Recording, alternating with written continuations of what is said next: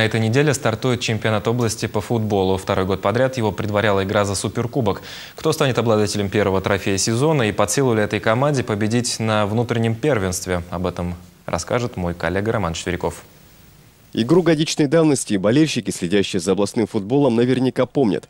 Тогда суперкубок достался Альпари «пятерка», затратившему на победу над прогрессом больше 90 игровых минут. Сейчас бывшие противники – единая команда, но еще до слияния клуб из Зоевки выиграл чемпионат и стал обладателем кубка. Поэтому в воскресенье на поле стадиона «Россия» вышли серебряные медалисты из машиностроителя ДЮСШ-5 и обновленный коллектив самого футбольного райцентра, который отныне будет выступать как Виатус Дюшор, Локомотив Зуевка. Мы в первый раз нас в этом составе практически очень много новых ребят влилось в коллектив, поэтому какими-либо целями мы себя озадачивать, ограничивать не будем. Мы будем играть, ставить игру, формироваться как коллектив, как команда.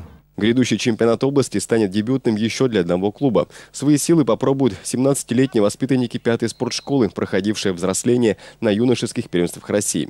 С футбольной карты области исчез только Уржум. В остальном борьбу за медали поведут давние соперники. Правда, большинство прогнозов сходится в одном. Победу и, похоже, безоговорочную в турнире прочат прогрессу, ставшему еще сильнее от прихода лидеров Альпари. Если честно, это команда уровня третьего дивизиона. И я, как руководитель одного из футбольных клубов, очень бы хотел, чтобы они играли там. Поэтому у нас и это бы пошло на пользу чемпионата области, потому что все остальные команды практически равны и могут на равных сражаться друг с другом. Из наиболее вероятных конкурентов областного гранда чаще других называют подопечных Константина Оленева. Перед нынешним стартом эта дружина пополнилась опытными игроками. Во многом благодаря им матч за Суперкубок стал копией прошлогодней игры. В основное время забитых мячей зрители не увидели. Обмен голами пришелся на дополнительные экстра-таймы, но и эти полчаса не выявили победителя. Соперникам пришлось бить пенальти, где точнее были вице-чемпионы области, реализовавшие четыре возможности из пяти победа немножко поднимает моральный дух команды перед стартом в областном чемпионате? Конечно, поднимает. Любая победа, тем более после 120 минут, после, по такой жаре, конечно, поднимает.